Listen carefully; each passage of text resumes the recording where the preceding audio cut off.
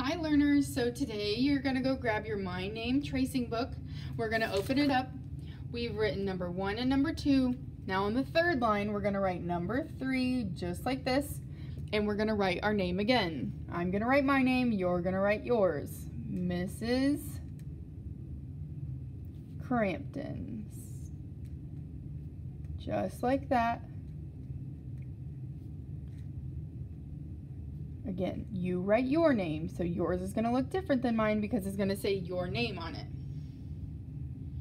There we go. When you're finished, you're done writing your name for today.